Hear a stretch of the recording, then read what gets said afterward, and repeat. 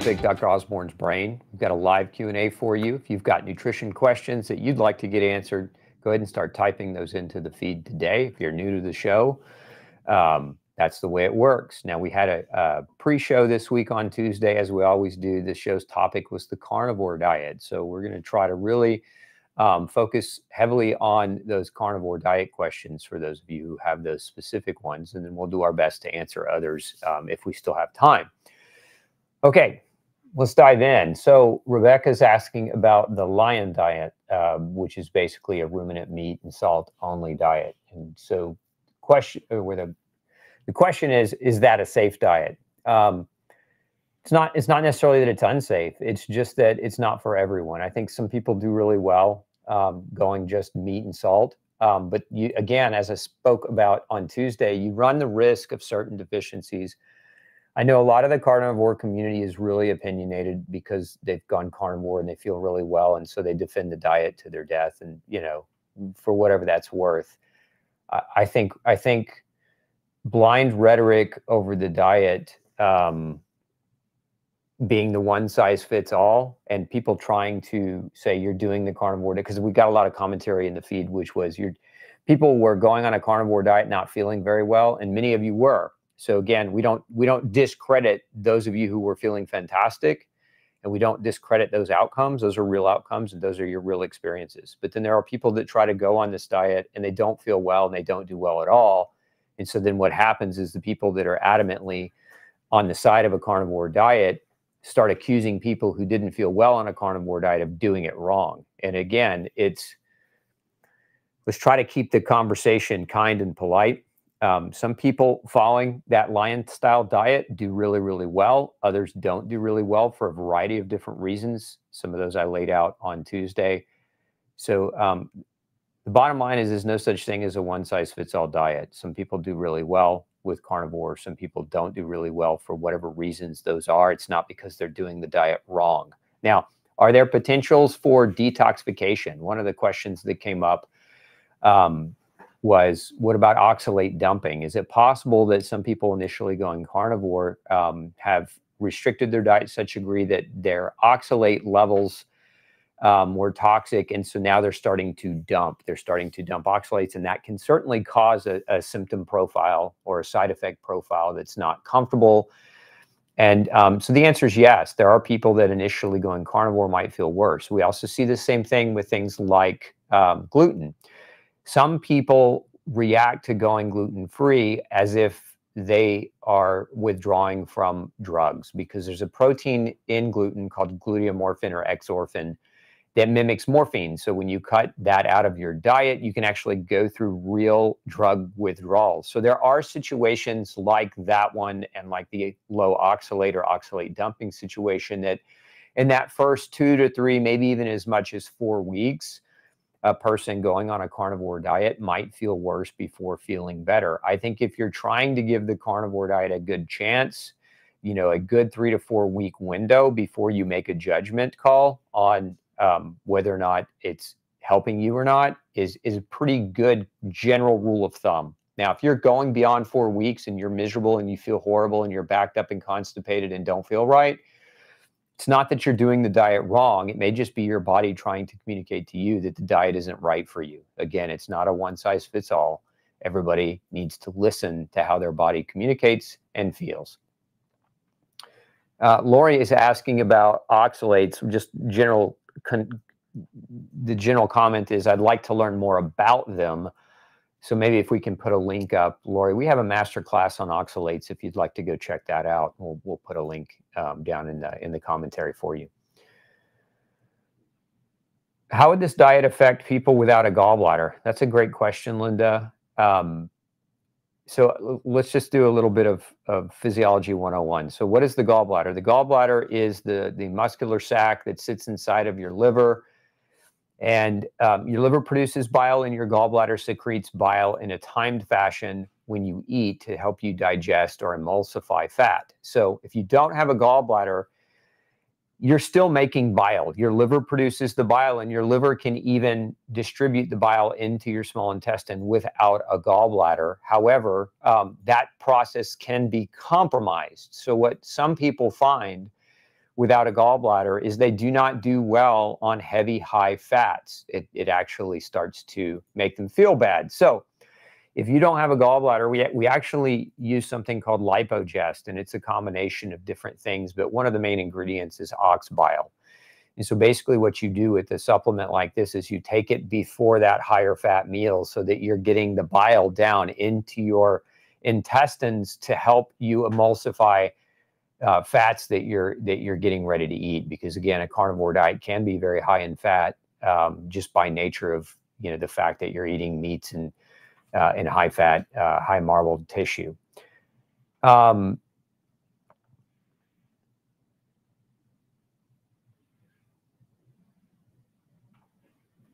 does the carnivore diet treat candida? Does it treat candida? I, you know, treatment isn't maybe okay. Maybe we're parsing words. Does the carnivore diet help with candida? Yeah, it absolutely can. Candida thrives on carbohydrate as a fuel source. So candida ferments carbohydrates in your diet. So if you have a high carbohydrate diet and you have a candida overgrowth, as you eat higher carbs, that candida can actually ferment your carbs and turn it into alcohol. And this is one of the reasons why people do poorly um, when they have candida overgrowth. They do poorly because their their carbohydrate uh, level in their diet is just is just feeding fuel to that fire.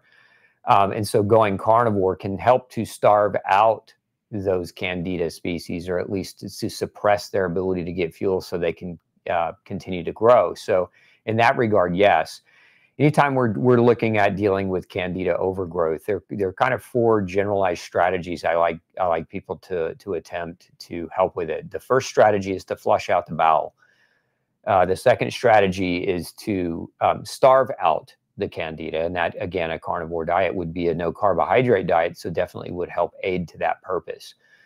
The third strategy would be to use some type of antimicrobial that had an antifungal or anti yeast effect. So things like oregano, things like thyme or caprylic acid. These are all good options in that regard. And then the fourth strategy would be to create competition for the candidal growth. So uh, the competition for candida would be probiotic right? The, the different types of bacteria compete for resources with candida. So some people do really, really well using supplemental probiotics in that situation or using fermented foods like sauerkraut.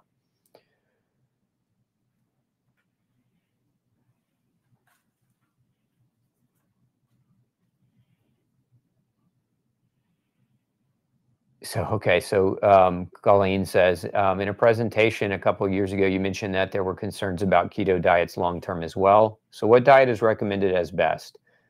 There seems to be issues with any of them that are too extreme in limiting food variety, perhaps a Mediterranean diet modified to eliminate gluten and grains.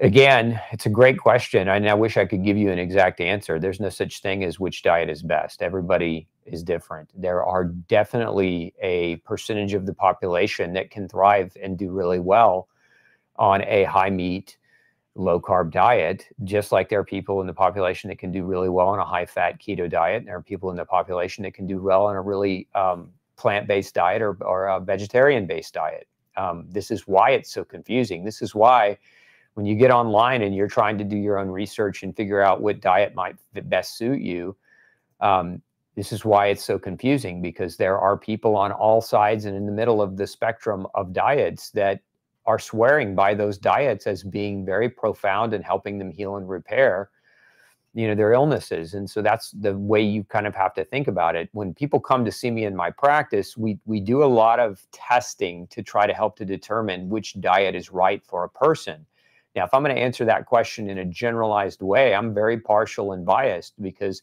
in my practice, I've been practicing for over two decades. Um, we use the no grain, no pain diet, which is it's a it's think of it think of it as a hybrid diet. It, it contains no grain. It's legume free. It's dairy free. It's sugar free. It's low oxalate. So in in all of those regards, you're you're it's low lectin. It's low oxalate. It's um, no grain, it's no sugar, it's no dairy. So you're removing a lot of the what we would consider to be the offending food agents or chemicals found in foods that can be problematic for so many. So if you're just generalizing as to a broad spectrum diet to start first, that's where I generally recommend people start first if you're not getting testing done. Because again, as I mentioned on Tuesday, a lot of people that have gone carnivore, why do they feel so much better? Some of them it's because carnivore is the right move for them to make, but some of them feel so much better because they've been eating shit for 20 years and treating their bodies horribly for 20 years and just going carnivore removes a vast majority of the offending agents and so they're swearing by the diet because you know they're no longer getting those exposures. So at, at the end of the day um, part of it is your perception of of that diet and how it's affecting you. And so again a lot of people you know you can create cult like attitudes and i saw that tuesday with so many of the the folks that were carnivore. They're just um, they came out in, in beast mode, in attack mode, just like defending the diet uh, and all of its virtues, no matter what your experience might have been to the negative or derogatory as a result of, of doing it. So again, I, I don't think any of us can have that attitude. I think we should all be open to one another's ability to have different experiences with different diets and that again, I sound like a broken record. There's no one size that fits everyone. Uh, let's see here. Um, there's a protocol recommended prior to doing a mycotoxin test. Um, or is there a protocol you recommend prior to doing a mycotoxin test? So there's that's a that's a double-edged sword, Tracy, and let me explain why. When you're trying to assess somebody's mycotoxin levels and, and you don't have any historical background information as far as uh, prior tests, of mycotoxins. And you're trying to rule out whether or not they have a historical exposure, storage of mycotoxins in their tissues versus whether or not they're having ongoing exposure from a very toxic environment.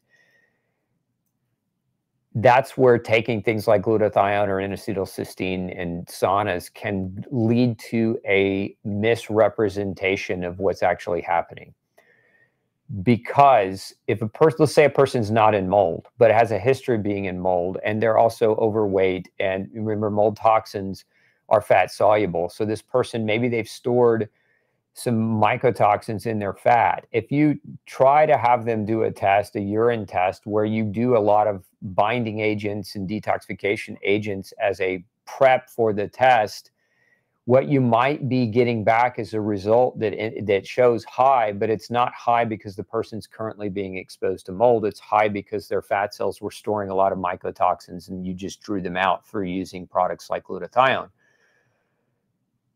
I favor doing the test if I suspect somebody's living in mold. I favor doing the test without any provocation at all, at least first, um, because I, I really, you know, when you're talking about mold and mycotoxins one of the worst nightmares is you know to accuse somebody's home of killing them and be wrong about it because then you create undue stress and undue fear uh, and an undue burden financially for that individual. So it's very important that you have the right information or as much of an accurate assessment of the information as possible. And so to do a provocation before doing a test like that could lead you to a false positive that's showing historical mycotoxin exposure versus current or ongoing mycotoxin exposure. I hope that helps you understand that better. How do you think a carnivore diet would affect the microbiome? Is it true that bifidobacteria needs carbs and that meat makes pre uh, proteolytic bacteria grow? We don't know. Um, that's what's that's what's not being studied yet, Monica. Um, it's a it's a fantastic question, and I think it's one that needs to be looked at and researched and explored. But I don't think anybody at this point has any definitive data that says if a person's following a carnivore diet, this is the change that we see in their microbiome. Um, we did talk about some research on Tuesday that shows that people that have a certain microbiome tend to do better with a heavier meat-based diet and maybe not as good with heavy fibers and sugars.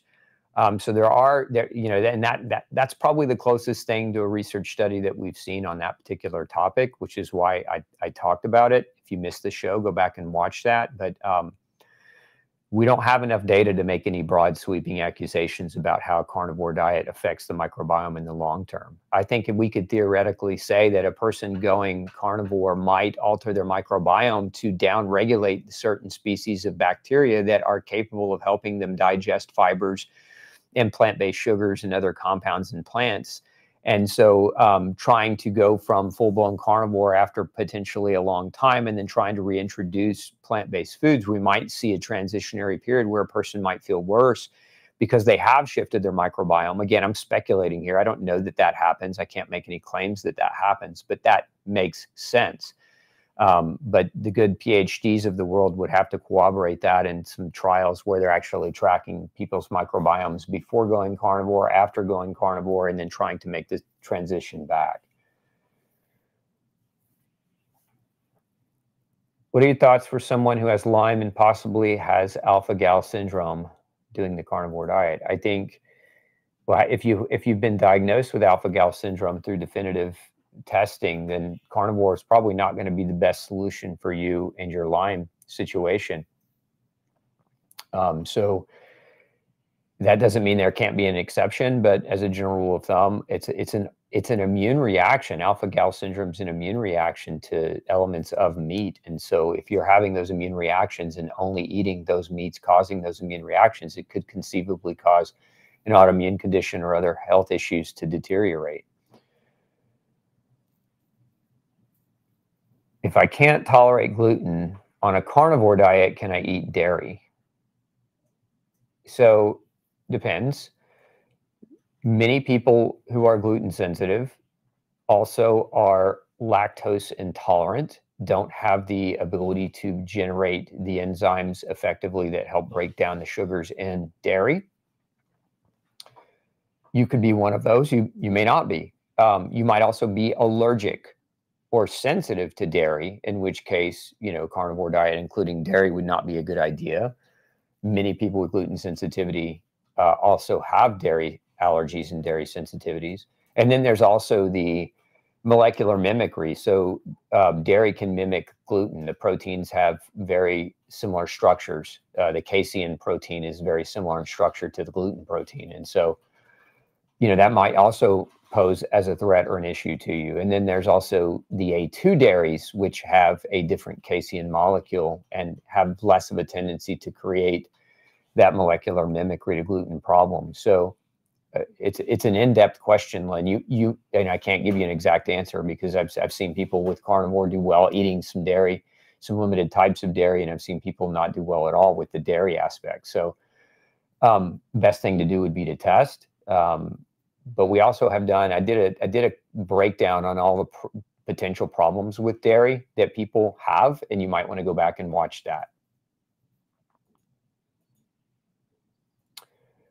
Does eating much meat increase the chance of developing cardiovascular problems or other problems? Uh, it can uh, but but eating meat as a to say that generically that eating meat causes an increased risk for heart disease is nonsense and a lot of the um, plant-based community advocates are out there making that statement and trying to promote that as if it's gospel or truth and it's really it's just heretics espousing um, rhetoric because there's no scientific evidence that shows that eating meat increases the risk for cardiovascular problems and there's actually um, plenty of evidence that that shows that not eating adequate protein, not eating adequate uh, meat in and of itself can increase your risk of certain diseases. Now, question maybe is is only eating meat pose a risk? And the answer to that is yes and no. And, and for variable different reasons that have nothing to do with the, just the eating meat part. It has to do with all the other variables in life. What else is this person doing to increase their risk of developing cardiovascular problems? Because cardiovascular is, is a complex inflammatory situation. And, it, and I don't think we could just say, this one thing that somebody does is going to guarantee an outcome of cardiovascular disease. And as I showed you on Tuesday, I showed you a case study of a um, of a of a young woman who had gone on a carnivore diet and had been on it for for quite a while. And um, one of the one of the let's just say one of the commentaries or several of the commentary critiques of that uh, case study was that well, what did her nutrition levels look before going car- carnivore? They looked better. We actually have a 10 year track record of testing that young woman. I wasn't we didn't have time in the show to go through her entire 10 year history, nor uh, did I feel like the justification needed to happen that way. But um, her level after going carnivore nutritionally went it deteriorated it was not as good and there were a number of factors involved with that but um, you know some of the commentary also was well was she eating enough organ meat or was she only eating lean meats no she was eating a diverse array of multitudes of different types of uh, meats and organ meats. And so in her case you know it led to more of a nutritional deficit type of issue. That's the whole thing. If if you go carnivore and it and it deteriorates your nutrition and part of that nutritional deterioration increases your risk of developing cardiovascular problems you certainly would want to know that and then you would want to make accommodations for it. Um, that's why i'm an advocate of testing and not an advocate of, of just pure guesswork. Um, you know that being said everybody's going to have a different experience and how they feel and and and how they're doing when they change their diet one way or the other. So again you can't you also you can't just do lab testing and ignore how a person feels and you also cannot ignore how a person feels and just do lab testing right? So this is where we in practice what we try to do is we combine the subjective experience of the patient right? I feel better on this diet. I don't have joint pain. I have more energy. Um, you know some of my labs are deteriorating but some of my labs are also improving right? We combine how they're doing and what their perception of how they feel is with solid objective lab data so that we can marry those subjective and, obje- and objective data and create the best possible outcomes or scenario for that individual without the mystery of wondering is this diet long term potentially going to create a problem uh, let's see here i told my pcm about you and she's impressed um, thank you for giving. Oh, not a question, more of a con. Well, maybe. Um, thank you for giving as much as you do. Appreciated big time. How many zebras follow you? I don't know how many zebras follow us, uh, but thanks for your comment. Uh, Dr. Osborne, do you recommend eating simple sugars to fuel the brain during mentally demanding tasks like writing an exam?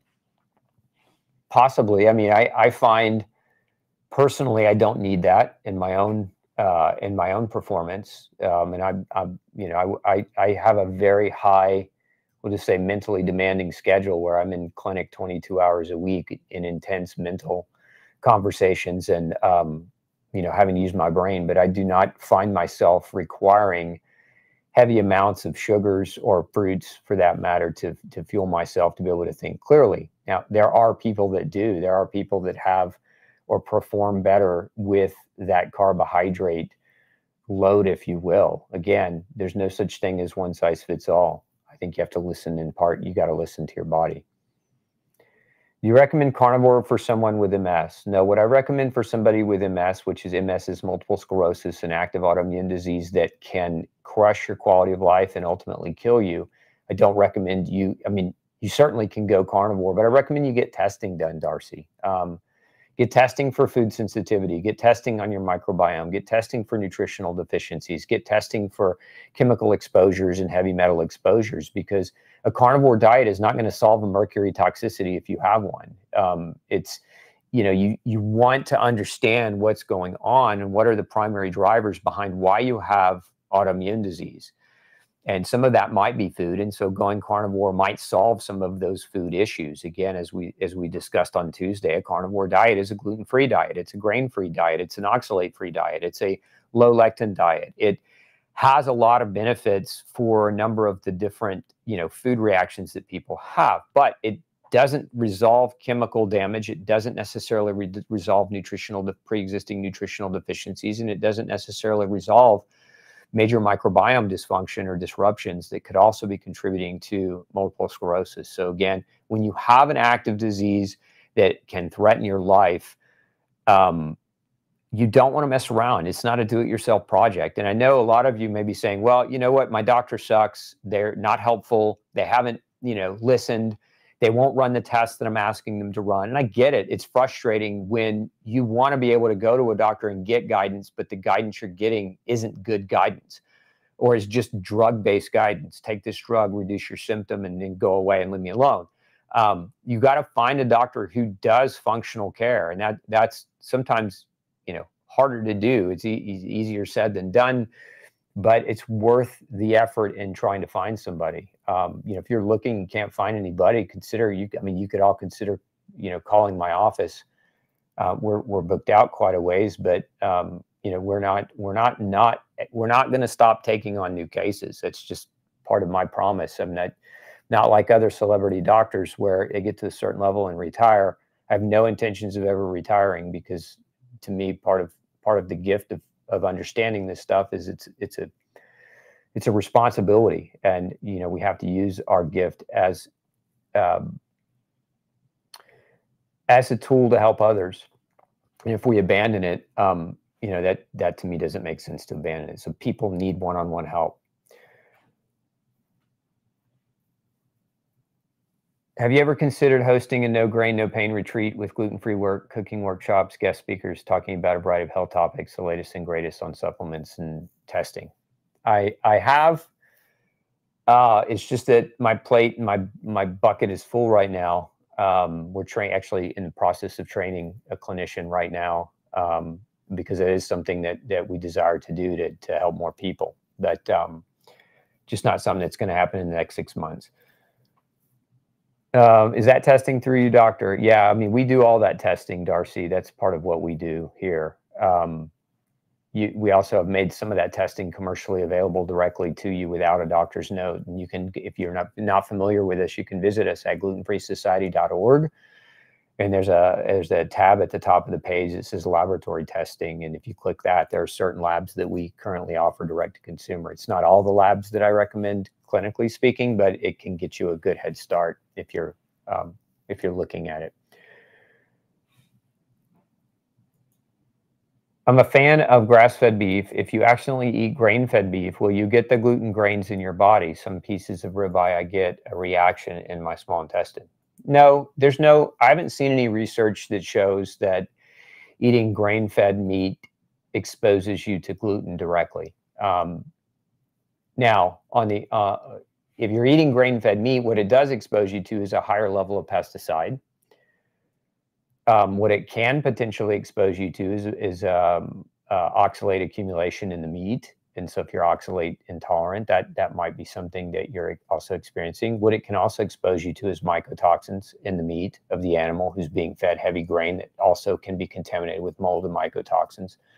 You're also getting a high um, a high ratio of omega six to omega three, which can um, drive the inflammatory balance of your body in the wrong direction. So there's a lot of potential reasons to not eat grain-fed beef, aside from the human, you know, the animal um, welfare reasons. Those animals, those, those grain-fed, you know, feedlot cattle are are treated horrifically. If you've ever been to a feedlot, you you know exactly what I'm talking about. Um, so it's always best to buy grass-fed, grass-finished because those animals are treated more ethically. They're more humanely treated. They're they're out there in the grass, in the sun, um, eating what God intended them to eat without all the nonsense, chemicals, and garbage. Um, I hear that B12 is better when it's a lozenge and is put under the tongue. Is is if yes, is that the kind uh, you have? Yeah, we have several kinds, Maria. But the answer is yes. B12 is absorbed orally through the buccal mucosa. So it's not just under the tongue, but it's also absorbed through the cheeks. Um, and so we have several different versions. We have a methylcobalamin. We have something called um, Ultra B12, which is a, a hydroxycobalamin for some of those that don't tolerate methylcobalamin. Um, and so those are, are examples of lozenges. We also have a B complex, which is an oral tablet that you swallow and um, it also has B12. But it, again, if you're looking for enhanced absorption, the lozenge is a better bet, especially if you have a history of gluten sensitivity or celiac disease, because the area that absorbs B12 in your intestine is damaged by gluten. And so a lot of people have B12 deficiencies because of that damage. So you're bypassing that area when you take a lozenge. When I look up wild rice on Google, it says it's a grain. Is that true? No, true wild rice is not a grain. Can I do the carnivore diet without a gallbladder? Yes, you, you can. You can certainly try. And if you find yourself with a lot of digestive stress um, because of the higher fat content, you can consider using um, an ox bile supplement, something like Lipogest. Um, but you can certainly make the attempt. Now, again, pay attention to how your body reacts and, and does, and make sure you're paying attention to your stools, that um, your stools are not turning like a super tan color or a, almost like a, uh, a light brown color, because that would be an indication potentially of fat malabsorption. And um, again, without that gallbladder, that's where you can run into a problem. So sometimes that supplemental ox bile is very helpful uh, and for some necessary.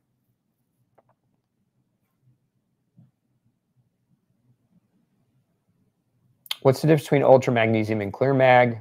Which one is better? They're both different. So it's not which one is better, it's which one serves the need that you're trying to serve. Um, if you're just generally trying to get a good quality magnesium supplement that's not going to cause you diarrhea for, through a massive osmotic action, Ultra MG is a good multi-purpose is four different types of magnesium. So you know that part of the reason why we offer the diverse array of different types of magnesium is is to uh, make sure that your body can utilize it well. As far as clear mag is concerned it is magnesium bound to um, something called threonate. And what that does is it helps get the magnesium past the blood brain barrier. So if you're trying to improve your mental focus concentration mental energy improve your sleep this is where a clear mag might support you better in that regard. So again, think of clear mag as brain magnesium and think of ultra MG as body magnesium. And if you think of it that way, you can make the best decision that matches your need.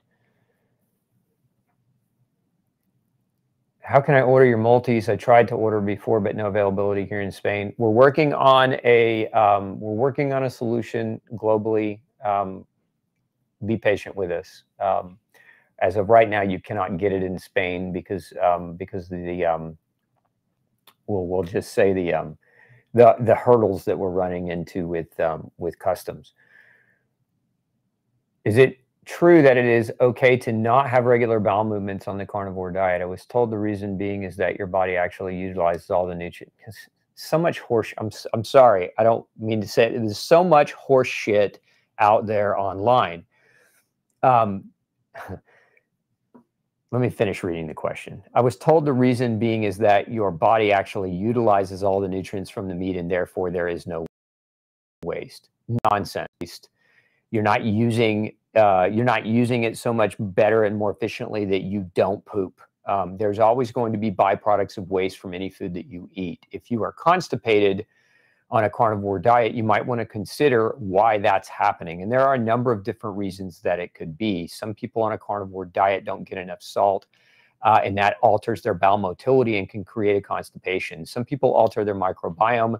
Uh, we've actually done some in-house measuring, and we've seen some changes in microbiome on carnivore diets where it can pose a risk for some for an increased risk of uh, constipation. We also know that some people, the carnivore diet is not right for 100%. They need some fiber, they need some plant based nutrients in their diet as well in order for their bowel to have healthy movement. So, again, if, if you are backed up, if you're not having daily bowel movements, that could pose a problem. Remember, when you have um, digestive processes going on around your food, if that food sits in you too long, it does putrefy. Just like if you leave it out on the counter too long, what happens to it? The oxygen and the light start to deteriorate it. The different environmental bugs start to deteriorate and eat it, and it starts to stink. That's called putrefaction. It happens in your gut with anything that you eat.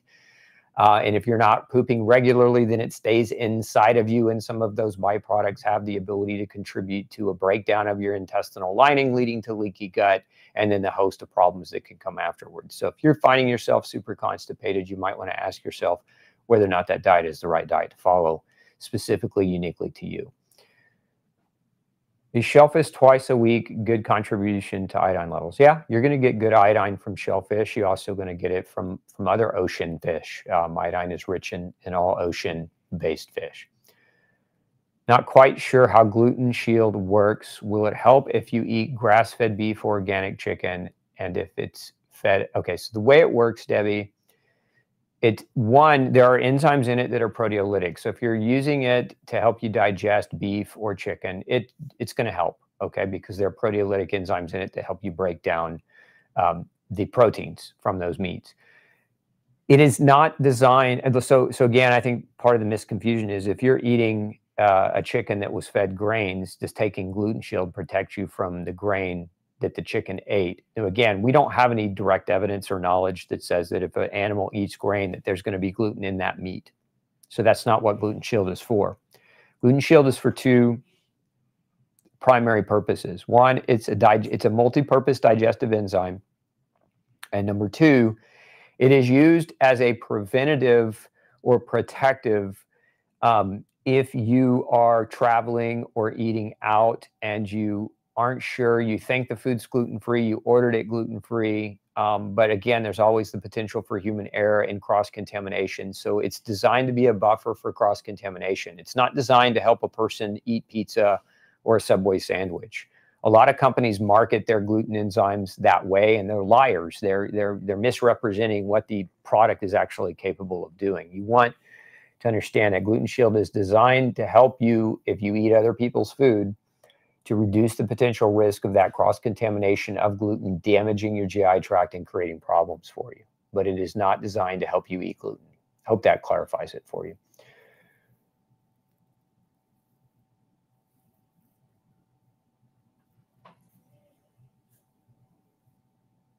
Let's see here. Can blood type O fare well on a carnivore animal based diet? I'm struggling with gluten and dairy, but feel better with high fat foods and meat. Basically, my question is do blood types matter? They can.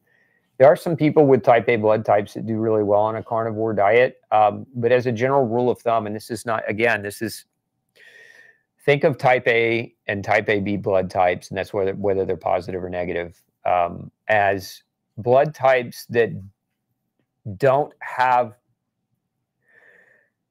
how do I want to explain this? Some people are good at some things and bad at others, right? Everybody's got gifts, talents. Everybody's got things they're not great at. So, for example, somebody might be really great at sprinting, but they're not really great at running long distances, and vice versa. You might have somebody who's really great at running long distances, but not great at sprinting. Their strengths and weaknesses are different. Well, think of A's and AB types as their strength is not stomach acid production in mass. And so that poses a potential risk for them not being able to break down the meat if they're eating high, large quantities of, of animal meats. Now, that doesn't mean that a person with an A blood type or an AB blood type can't do carnivore or may not be successful with it. It just means knowing that allows you to have an understanding. And this was one of the other comments earlier was, you know, I'm on a carnivore diet and I'm constipated. Well, if your blood type is A or AB, that may be the case. And so if you want to stay on a carnivore diet, you've got to figure out why you're constipated. For some with those blood types, taking acid as a supplemental before eating might be beneficial and aid in, in the digestion of that extra meat or using something like apple cider vinegar before the meal that it is a mild acid or you can use something like betaine hydrochloride but there's no um, if you're type O, you know, the, the, general rule of thumb with type O is type O's are really good at producing stomach acid. So they're actually the blood type from that perspective is a good match for uh, higher meat intake.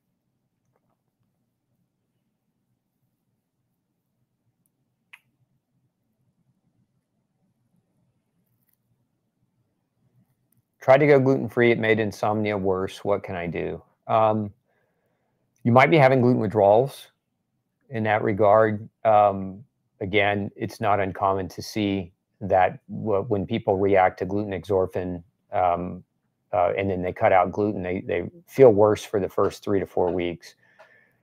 Um, you know, the best thing you can really do is get tested to try to figure out what else might be going on that's contributing to that insomnia as well. Because um, you you may you may be missing some key things, some key elements that um, could improve your sleep. You might also want to check out our sleep crash course maybe we can put a link up for her. How long can you do carnivore without affecting your nutrition status but letting your gut heal? I mean, you can you can do carnivore as long as you um, feel good doing carnivore. I think if you're again the, the takeaway message here, Yesenia, is if you're gonna do carnivore, you monitor your levels of things. Make sure it's not you know not contributing to some potential pitfalls for you that you know you might have to correct in the future.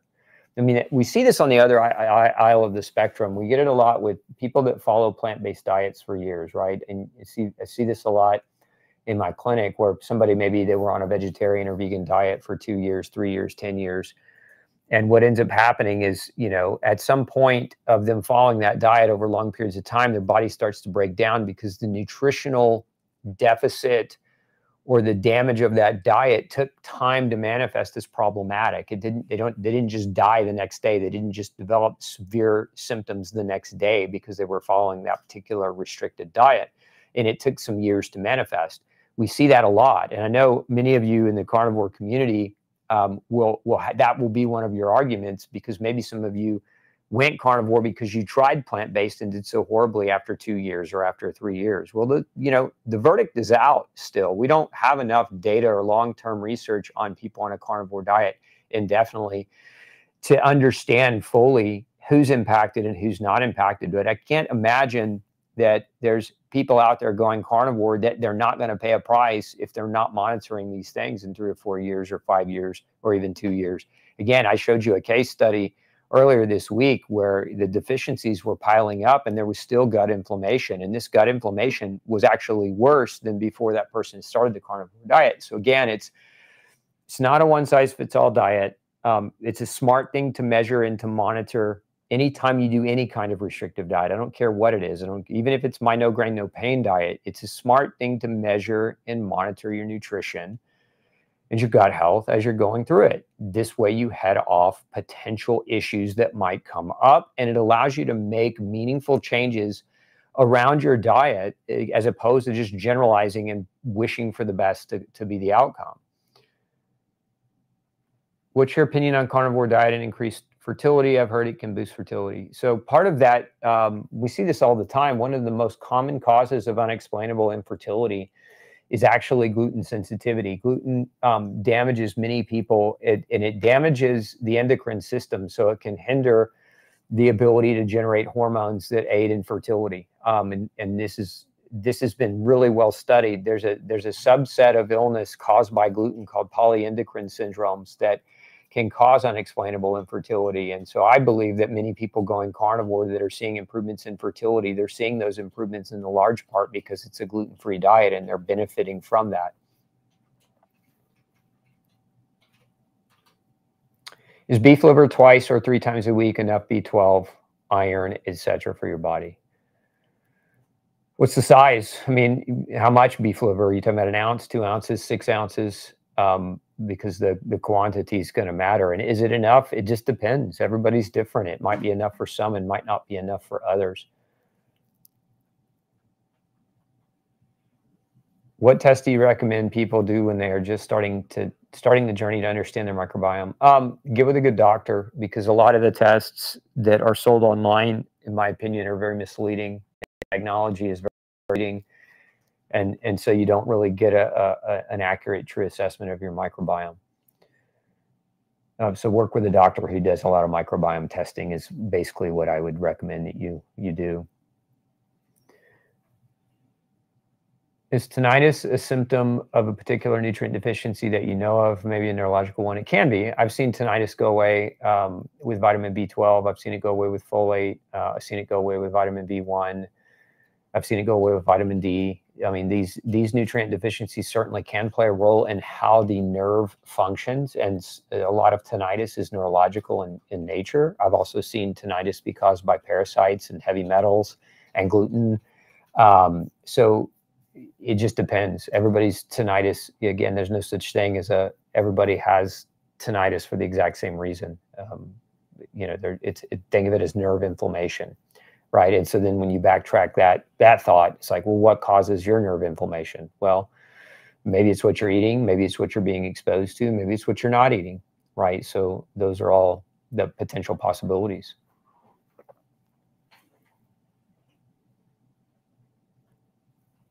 How do people with MTHFR gene go on the carnivore diet? The same way people without the MTHFR uh, mutation do. Um, there's no risk of doing carnivore if you have MTHFR mutation, um, especially if you're eating organ meats, because you're going to get lots of good quality folate out of, especially out of liver.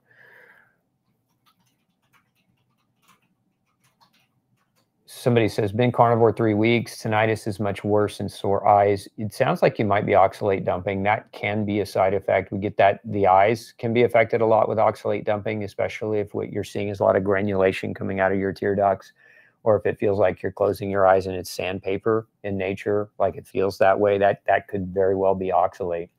So a lot of people too have have um, hard like lesions start to form uh, underneath the skin and then they bust open and they're like a crystalline like structure. That would be also uh, a symptom of potential oxalate dumping. So that may be what you're experiencing um, what some people find is more helpful instead of just going full bore carnivore um, is to continue to eat certain plants certain foods you know go low oxalate with with maybe a focus on some meat um, but don't go no oxalate, which is what a carnivore diet is, to try to avoid that potential for a severe oxalate dumping effect. Again, this is one of the groupings of symptoms that are not uncommon in people trying to to go full full blown carnivore, you know, overnight cold turkey without doing a kind of a transition.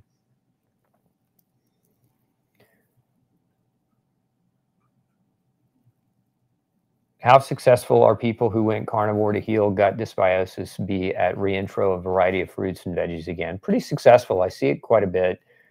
Um, I think, again, a lot of the benefits of, of the carnivore diet are because of its restrictions and the commonality of, of what those things being restricted are and how they can impact a person's health. But once a person reestablishes their gut dysbiosis and their microbiome, uh, in a healthy manner, a lot of times they redevelop a, a, a tolerance, a retolerance, if you will, of reintroducing new foods. And you know, I think that's, in my opinion, in my experience, that's arguably the best place for most people to, to aim for.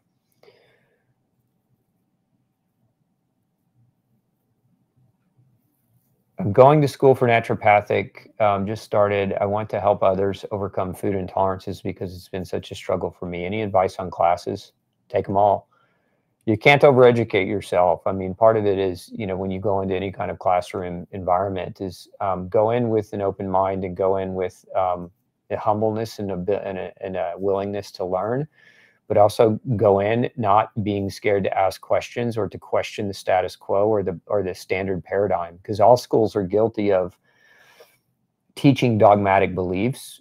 Um, and this is part of the problem with school. I, I always said school is where you go to learn to learn. It's not where you go to stop learning. Like a lot of people get their degree and then they think, oh, I have my degree, therefore I am the master of this particular, you know, topic. And in reality, school is just a really great place to go and learn how to learn. And once you know and understand how to learn, then your your school is your life, right? Your school becomes lifelong. And for me, probably the best school I ever went to. Um, day in and day out to learn about nutrition was with my patients. It was one on one. It was being humble enough as a doctor to be able to listen to them and to listen to their feedback and not just be right. Um, and and to see outcomes for various different reasons. And sometimes those outcomes didn't make sense until you allowed your your mental blocks to come down and be open to other possibilities. So go into it with that attitude and then read. Um, I probably read 20, maybe not quite that much, 15 hours a week um, easy um, in research, um, and that's through you know National Library of Medicine, PubMed. Um, you know, I, I, like to stay up to date, and I like to read and uh, consume literature voraciously because it helps me stay sharp. And it helps me apply new thoughts and concepts when I go into practice every week. So stay hungry. Don't ever think you've ever hit a knowledge level where you no longer need to learn. When you stop growing, you start dying. And that's really the gist of it just diagnosed with lupus and RA. I have no pain. So is methotrexate necessary?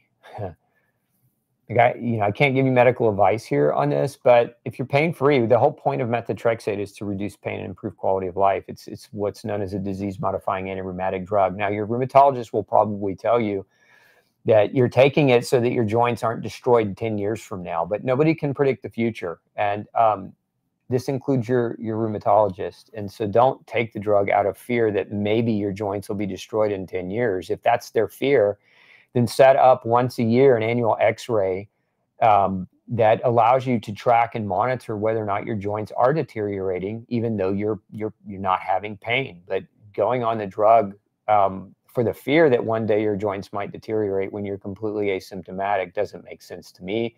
And it doesn't come without side effects. Methotrexate destroys the gut lining, it blocks folate And um, it really sets the stage for a leakiness or a leaky gut to occur, which then can perpetuate and multiply into other autoimmune diseases in your future. Those are all possibilities. So just taking it without without the justification of improving your quality of life, in my opinion, it's not something I would do.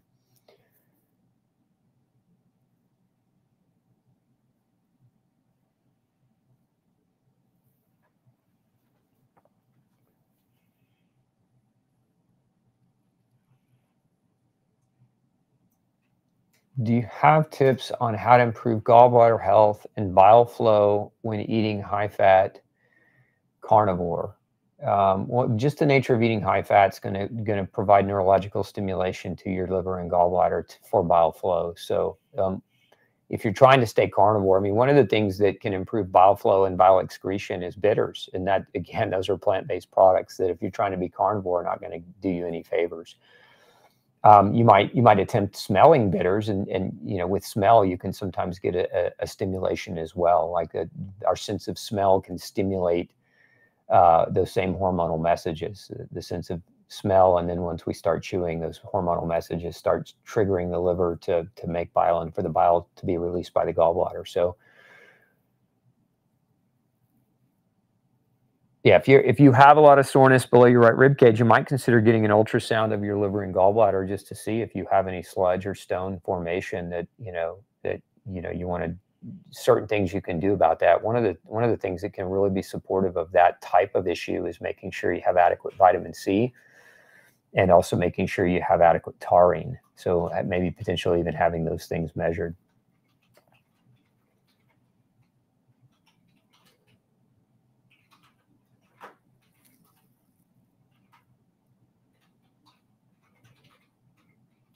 What's the benefit to take MCT oil? I mean, aside from just providing a source, an energy substrate for the intestine to use, you you you ideally, I'm not a fan of oils. I'm not a fan of taking extra oils. One oil that I recommend that people take on the regular, and and that's simply because, you know, over two decades of laboratory testing have has shown me that that people who don't supplement with omega-3 fatty acids generally have low omega-3 fatty acid levels no matter what they attempt in their diet to do. Um, but i'm not a fan of beyond that i'm not a fan of really much of any processed oils. If you want to you want mct oil eat the foods that contain it more than taking the supplement Dr. Osborne, will you add magnesium citrate to your vitamins? We have magnesium citrate. It's in our Ultra MG. It's it's um, a mixture of magnesium citrate and uh, magnesium glycinate and magnesium ascorbate and magnesium alkyl. So um, that is in that product. You might want to relook at that, Mary. Um, if you're a kidney stone developer, depending on the type of kidney stone, it, you know, 80% of kidney stones are calcium oxalate stones, and they're not formed as a result of not having magnesium as much as they're formed as a result of over-consuming oxalates. So you might also consider watching uh, our class on oxalates. You might also consider, you know, oxalates are produced by different species of molds and yeast. And if you have uh, a mold problem or a yeast overgrowth problem, you might have an oxalate factory in your body that's that's driving the formation of those stones. And again, magnesium citrate's not going to stop them from forming. Um, hope that helps you. What's the best sleeping position? The one, the best sleeping position is the position that allows you to sleep soundly and peacefully through the night um, you know, whether you're sleeping on your left or your right or on your back, which position is the most comfortable for you that allows you a, a peaceful night's sleep. There's not a best magic position.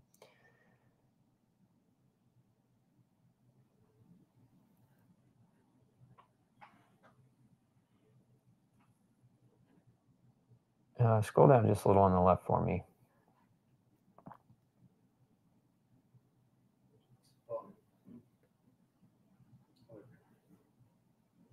Is it true the large portion of the, of the population is deficient in iodine, and how does one know if they're deficient? You can do our nutritional testing, Pamela.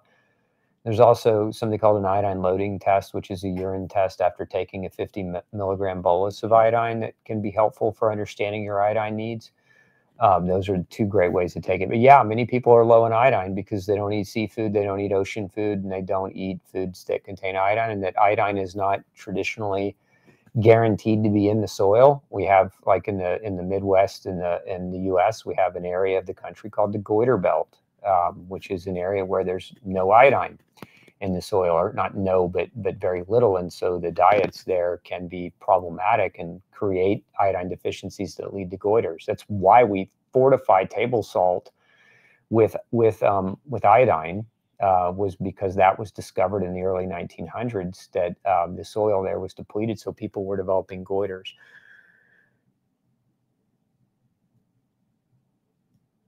Would you recommend someone positive for SIBO for hydrogen and methane? You mean I don't know what you're, I don't understand your question because a positive SIBO test would mean that you tested positive for hydrogen and methane gas levels um, on a breath test. Um, so if you're asking me, should somebody with suspected SIBO take a hydrogen methane gas test? You could, um, you know, and it might help give you some determination. Um, but again, it's hard to discern what your question is. I had symptoms suddenly occur after a car accident, never had them before. Well, then you might have somatovisceral problems. So you can have damage structurally to your body after a, a, a, an accident, whether it's a car accident or a fall or, or any other type of physical injury that can translate into organ dysfunction. Um, the there's a name for it. It's called somatovisceral disease. Um, and so, you know, that is a possibility. You might want to look into um, getting checked out after the accident to see if you've got you know any type of soft tissue adhesions or scar formations or other problems that could be contributing to that uh, to those symptoms and get that and get yourself physically treated.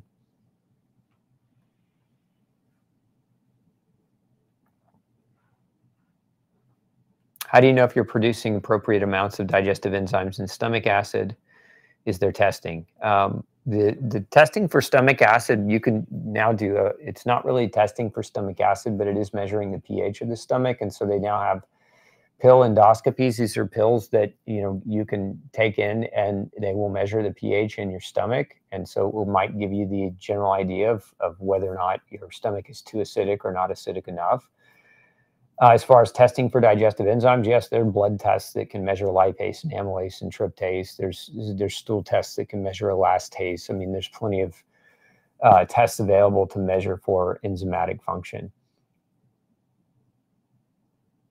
I'm going to Ethiopia soon. What's the best antibiotic to get in case? I mean, the best antibiotic to get is talk with your doctor to determine, um, you know, what your antibiotic history is. But I, I'm not a big fan of of the just in case um, antibiotic use because if you get traveler's diarrhea, it doesn't still doesn't necessarily constitute that you need an antibiotic. Sometimes traveler's diarrhea will self-resolve. Um, what I like to travel with if I'm going somewhere is a very potent probiotic. And that way, if something hits me, I, I start with the probiotic first before jumping right to the uh, the antibiotic. You might also consider some natural antibiotic options. Um, I, I, can give you an example. Um, so for probiotic, I would take some like Ultrabiotic Defense, which is a very high dose. And for the traveler's diarrhea component, we have a product called Intestinal Defense, which is a mixture of different herbals that can have antibiotic properties. Uh, and so that would be something that I personally would take with me uh, if I knew I was going out of town and wanted to have kind of a backup plan. And then if those things failed, then you might you know, consider the antibiotic. Again, of course, if, if it's a bacterial infection.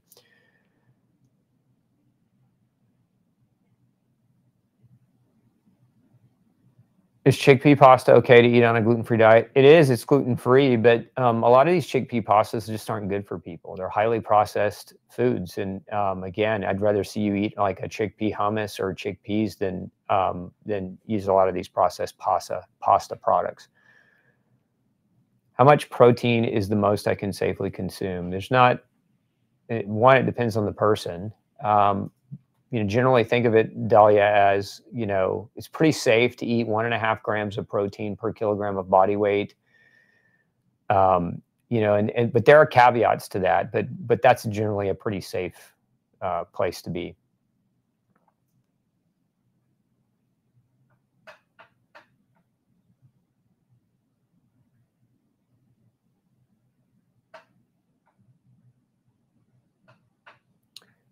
If I did three a three month detox six months ago through Cellcore and now figuring out I am living in a moldy house, did the detox do any good? No.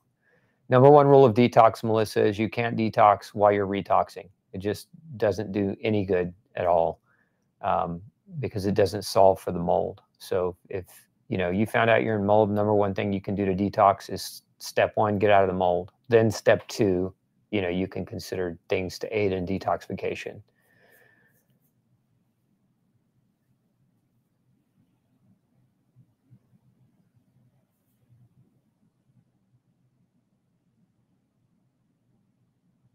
I have, I can't have vegetables because I have diverticular pouches and vegetables create a flare. Would eating just meat, fish, eggs, and chicken be enough?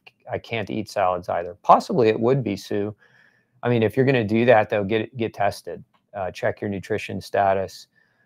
Um, the other the other consideration, you know, with those out pouches like that, what some people with diverticulitis find very helpful um, is pureeing um, pureeing the food and liquefying it so that it doesn't lodge into the diverticuli and create a flare for you.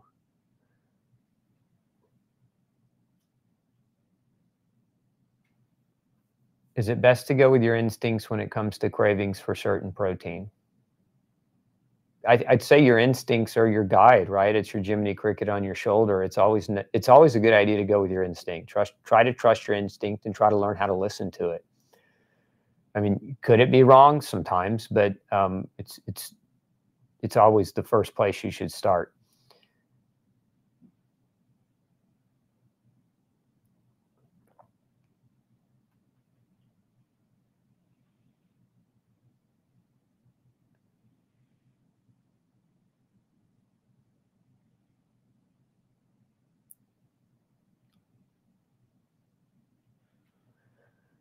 I answered this one already. Um, no gallbladder. Do you recommend certain supplements? Well, we have one called Lipogest, which is what what I recommend for people without gallbladders who are trying to help support their fat um, absorption. Does eating butter help with joint pain? If the nutrients in the butter are providing deficient you're if are providing nutrients that you're deficient in that relate to how your joints are forming or regulating inflammation, it might, but I wouldn't go eating go around eating you know butter as as a as a means to try to treat your joint pain. Um, but you know, I've not I've not seen anybody go on a butter diet and, and solve their arthritis as an example. Um, but it, it's a weird question, I guess. Um, I'm hypothyroid on desiccated thyroid over 20 years. Type A blood, other than low acid. Are there other drawbacks for my blood type? I'm 90% carnivore now and tapering off the meds. Um, not really. I mean, if you're feeling better, doing well, being able to taper off your meds, going in that direction, more power to you. You know, the biggest draw, any drawback, right? As we've said repetitively, any drawback to, to a restriction diet would just be monitor your nutrition and be intelligent about it so that you prevent the potential possibility of a long-term deficit that might deteriorate your health in another way that, you know, doesn't show up for, you know, six months, 12 months, tw- you know, two years, et cetera. Uh, what does the carnivore diet contain? It contains animal products, so any kind of meat.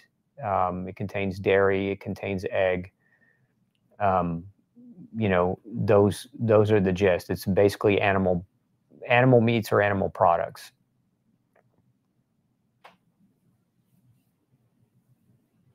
I don't live in a country where I can get a complete nutritional panel. Which nutrients are key to test? All of them. I mean, honestly, just you know do the best that you can you know check what you have available to you um, lila or lita but um, but all of them are important because any nutritional deficiency can cause problems.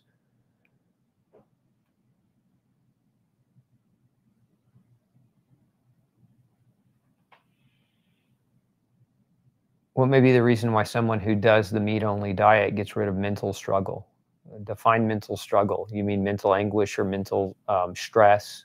Um, it could be that you're eliminating the foods that were creating a biochemical stress, and that allowed your mind to think more clearly, work more clearly, and function better and and feel better. Um, again, think of stress. There's three flavors of stress. There's chemical stress, mental stress, and um, physical stress. And where a lot of people's stress is coming from is their food but it's perceived as mental stress, right? Because we can perceive stress mentally, even though it might be coming biochemically from our food. I mean, we see this all the time. People with gluten sensitivity who have bipolar, schizophrenic tendencies, and anxiety disorders. And when they go gluten free, their mind clears and they can think and they don't have that level of stress.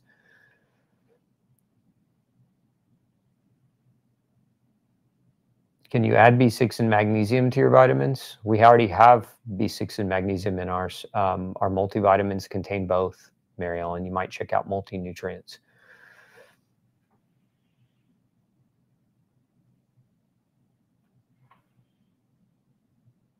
I'm wondering if you have any opinion on the uh, taking strontium for bones to avoid osteoporosis. Uh, yeah, I do. We actually did a show on bone loss here recently that you might want to go check out. And we did talk about strontium uh, to a certain extent in that show. But strontium is a great nutrient. We actually test for the deficiency of strontium, and it's not uncommon that we see people with you know, accelerated bone loss having strontium deficiencies. And so I am a fan of using strontium supplementally in those individuals. Is fiber really necessary? For some it is and you know some would argue that it's not. I you know i, I tend to go back to the, there's there's there are always outliers. There will always be freaks of nature people that can smoke for 100 years and not die of lung cancer or, or lung problems. Uh, just like there will be people that can eat an all meat diet and feel fantastically great and do well. Just like there will be people that can eat an all plant-based diet and do fantastically well. As a general rule of thumb don't count on the fact that you're a freak of nature outlier and take the risk of damaging your health over your entire life by having a dogmatic opinion about something. I think when we get into dogmatic belief systems as we saw in the last several years with, you know, with the infection and the pandemic, I mean, there's so much dogma and there's so much polarity, right? People, there are people that believe in things and people that don't believe in things, and then there's everything in the middle and in between. And we see the same kind of polarity occurring in the diet realm. Don't fall prey to dogmatic belief systems.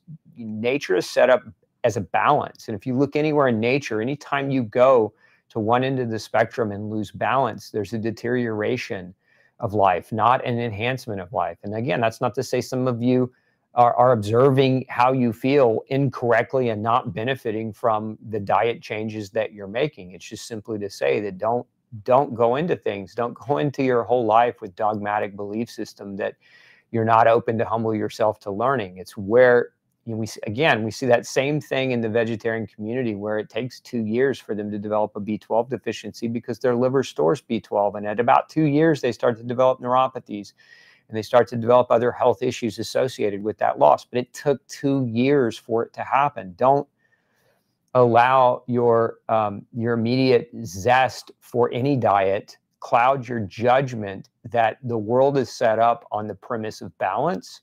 And so you always want to look at balance as a place to try to stand and hold and be intelligent about how you make decisions, keeping that in mind.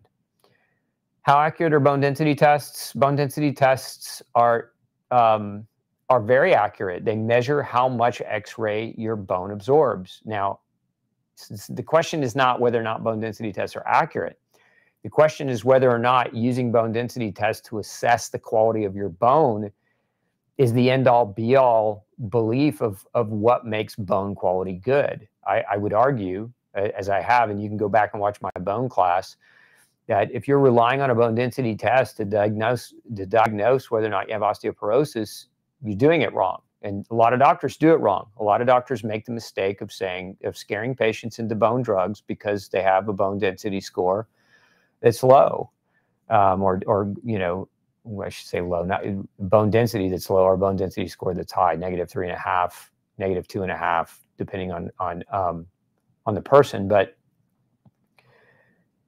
they're a tool to help to assess an aspect of bone, but they're not the definitive marker that says this is the health of your bone. In other words, you can do bone scans, but you should also couple that with urine crosslinks, pyridinium crosslinks, osteocalcin.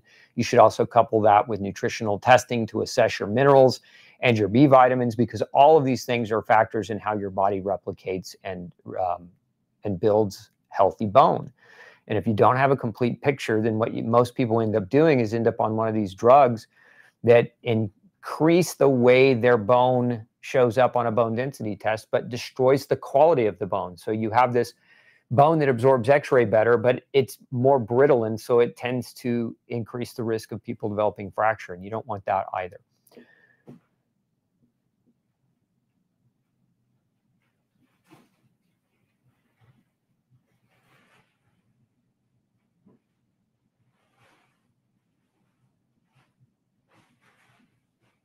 Uh, let's see. Eating mostly carnivore along with wild caught fish, microgreens, ferments, um, some supplements, Celtic sea salt in the water. Can I maintain good nutrition and vitamin levels eating this way? Probably, but again, the best way to know for sure would be to test yourself periodically. I'm a big fan of twice a year testing. Every six months, I have my blood drawn. I want to know what my nutritional status looks like because even even if I'm eating the best diet for me, which I believe I am based on years of experience and, and years of testing, um, there will always be life variables that come into play. You might have a two month period of time where you're super stressed. You might maybe you're increasing your exercise. Maybe you get in a car accident. Maybe you fall and strain or sprain your ankle.